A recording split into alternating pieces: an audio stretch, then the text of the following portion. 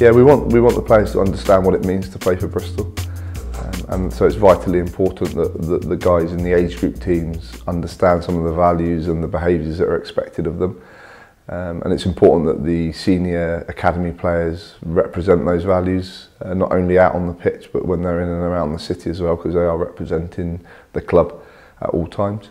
Um, yeah, you know, the, the purpose of the club and the purpose of the academy is to unite and inspire the city and that's vitally important um, that the senior academy and the first team understand that but at the same time the junior academy lads coming through start to understand how important a role the rugby club plays in, in the city and the local area. The goal now is to produce players that are able to play uh, in the Premiership and at the top end of European competition. Um, in 2011, we were probably in a slightly different space and we were looking for players to come through there and then that were able to play in the Championship. Now we're looking at producing players that are going to be competing at the very top end of the game. And if Andy can go out and recruit the very best players from across the world, the local Bristol guys have got to be good enough to compete with those guys. So yeah, the, the challenge is huge.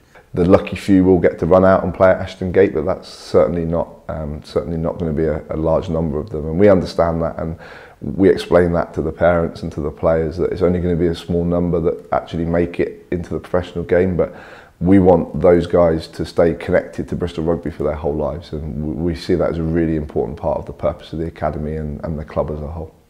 The new arrivals who come in have got to understand the history and tradition of the club, they've got to buy into the values and, and those new guys will be the future of the club.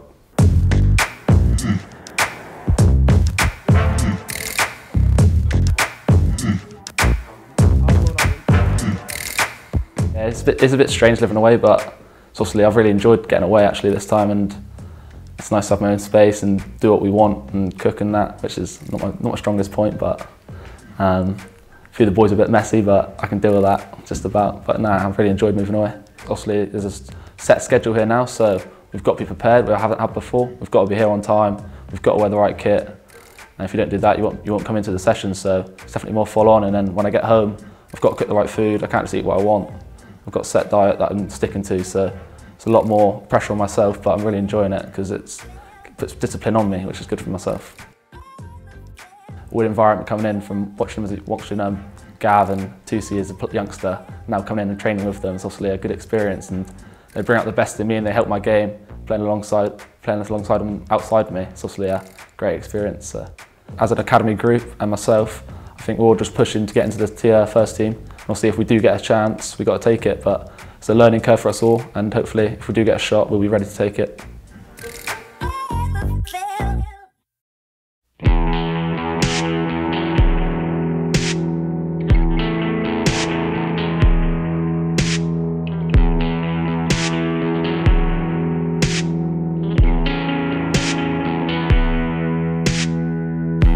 Uh, when I play for Bristol, I feel like I'm representing like a small part of Bristol where well, my community and where I came from was a pretty humble background.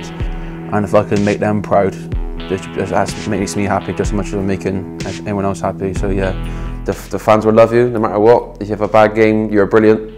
And uh, if you're in it come out onto the field you always hear your name you you can't, can't do nothing wrong I find. It always breeds confidence and you feel like you can go on the pitch and you're invincible and that helps a lot.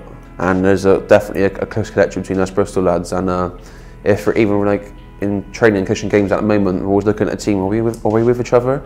If we're all forwards but if it's a if it's touch we'll, we'll back ourselves because we're together even for against all the backs it's, yeah, there's definitely a connection and uh, we'll get a buzz if we're in the same team sheet together right and you do get some tough times where you have to be very patient. It's easy to say to be patient. Once you get a taste of it it's it's very hard. And I say your first couple of years you don't say much, you just get your head down, crack on and work hard. And you get very few chances but I think it's very important you keep showing the potential you got and these very few chances you get. I think it's important that you create friendships with everyone, so no matter if they're 18 or 32, no matter how old you are, I think we all need to be on the same page on the training field. I pay for my family, my teammates and the people of where I'm from that's what I, that's what gets me through the tough moments in games.